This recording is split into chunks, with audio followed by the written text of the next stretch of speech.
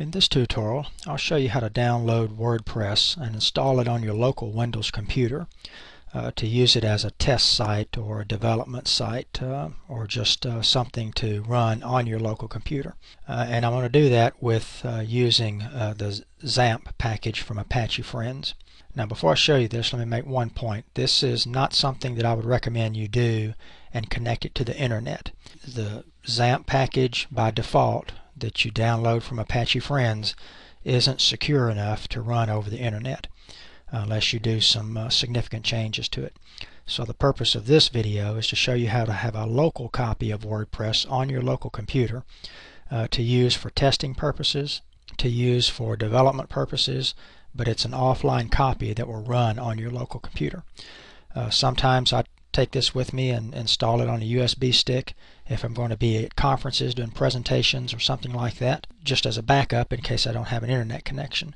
Then I still have a server running on my laptop Windows machine uh, with WordPress and any other applications that I want to run on it. Uh, so that's just a sort of uh, disclaimer to start here. I wouldn't recommend that you take this default package and run it online without some significant uh, enhances to security. So the first thing that we want to do to make this happen is to go to apachefriends.org and at Apache Friends uh, we're going to download a complete LAMP application that will run on your Windows uh, computer. So I'm going to click on XAMPP for uh, Windows and uh, that'll take me to the download screen.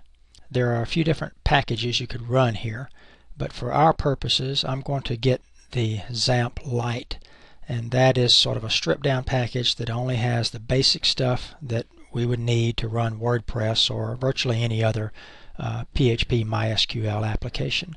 Uh, it comes with Apache, PHP, MySQL, PHP MyAdmin, and then a few other things. Uh, but that's all we need. Uh, so to get this, I'm going to go ahead and download the zip file here from uh, Apache Friends and I'm just going to save it on the desktop of my local computer. Ultimately, I'm going to be installing this on a USB drive, but I typically like to download these things first to my computer, extract them, and then move them over to the zip drive. So let's let this download. Okay, we finished downloading it, so we're done with that. If you look below the download link, uh, Apache Friends gives you a couple of ways to install this. One is with the uh, installer, uh, but we're not going to do that. We're not going to install it on the computer.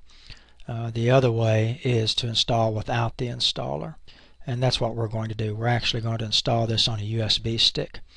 Uh, the key to keep in mind here when you're doing it without the installer is that you want to make sure that you unpack this, that you install this in the top level directory of whatever drive you're installing it on.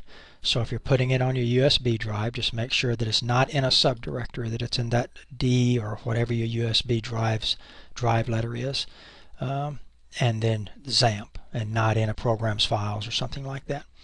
Uh, so that's the key to make it run. If it's on your hard drive, then it would be C colon slash, and then it would be XAMPP there. It wouldn't there wouldn't be anything else in between. Let's uh, let's go ahead and download WordPress while we're on the internet. And we'll just go to WordPress.org and go to the download area and download the latest version of WordPress to our hard drive as well.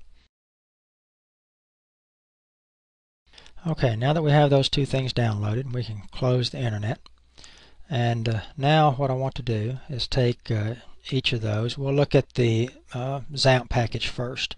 And I'm just going to extract it here uh, on my desktop. Okay, now that it's extracted, I'm just going to hit cancel. And I should have a folder now on my desktop that's unzipped. Now, all I did to extract this was just right clicked on the zip file and left clicked on extract all.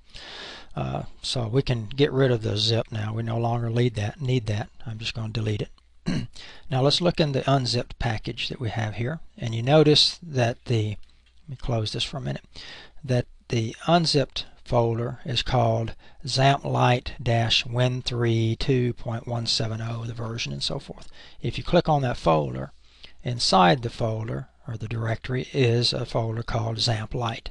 And then if you click on that directory, there's all the stuff that you actually need. That's all the essentially the web server software that we're going to be running on our local computer here.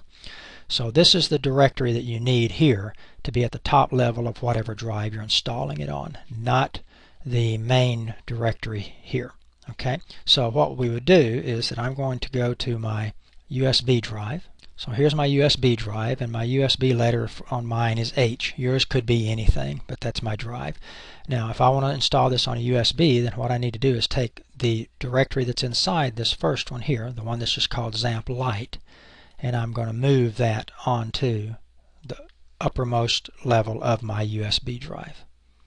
Now, of course, you could have downloaded it to your USB and extracted it on your USB, either one.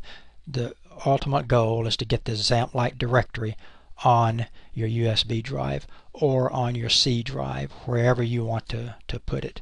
But it needs to be, again, at the uppermost level of whatever drive you're putting it on. That's the key. Okay, now it's copied onto my USB drive, so now I have my web server software installed on my USB at the upper level. Now I could have just as easily, if I'd wanted to, copied that to my C drive, the hard drive of my computer. The only thing again that you just need to do is to take that XAMPP Lite directory and drop it straight on C. Don't go into documents and settings or into program files or anything like that. Keep it at that upper level if you want to put it on C. But we're running it on the USB and there it is. Now that this is on your USB or wherever you installed it, just go into it and open it and then there's a couple things I like to do first or one thing I like to do before I actually start it is to go to the port check option or link and click on the XAMPP port check exe file. And that will go through and check the ports to see if they're free or busy. And the ports that you need to make sure that are free are the HTTP port and your MySQL port. So if the HTTP port and the MySQL port are free, then you should be able to run XAMPP. Quite often, the biggest problem I think people have in installing and running XAMPP effectively is that they get it installed, but then they can't get Apache to start because the Apache port, port 80, isn't free. And there are lots of things out there that could cause that. I think one of them, uh, if my memory serves me correctly, is Skype. If you're running Skype, I think Skype uh, uses port 80. So if it's not free, then you're not going to be able to start XAMPP. So this is just a quick check to make sure that that Apache and MySQL ports are actually free. So then once I know my ports are free, I should be able to start the web server fine. So I click on the XAMPP Control EXE and that will open a window that gives you your control panel area. And the two things we want to start are Apache and MySQL. So click Start for Apache and you should see it running. You may get, depending on your computer, some alerts here to ask you to unblock certain programs.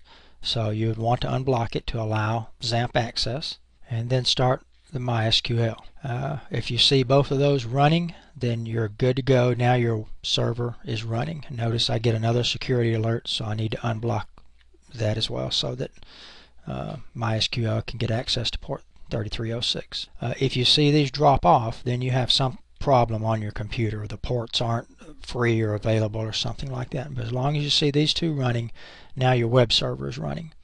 So you can minimize that window. Uh, I could go ahead and close this if I want, the XAMPP Lite. Now I'm done. I have the web server running. And then all I need to do is go to my internet browser and type in localhost and that should bring me to the splash page.